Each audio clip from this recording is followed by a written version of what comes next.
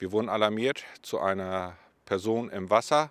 Vor Ort stellte sich aber heraus, dass es sich um eine Personenrettung aus einem Boot handelt von der Ems. Ja, die Schwierigkeit war, dass wir nicht so direkt zur Person rüberkommen konnten, wir auch keinen Kontakt zu dieser Person hatten und somit nicht genau wussten, was dort los war. Wir wussten lediglich vom Rettungsdienst vor Ort, dass es sich um einen medizinischen Notfall auf dem Boot handelt. Wir können Sie dort nicht aufnehmen. Wir fahren zum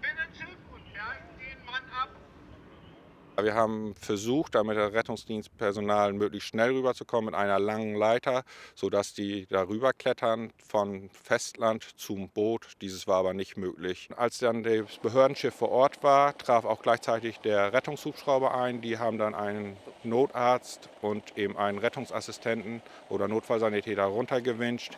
Die haben dann die Erstmaßnahmen eingeleitet auf dem Schiff. Von da aus ist dann später die Person auch über, diese, über den Hubschrauber runtergeholt worden und an Land gebracht worden zu dem Rettungswagen.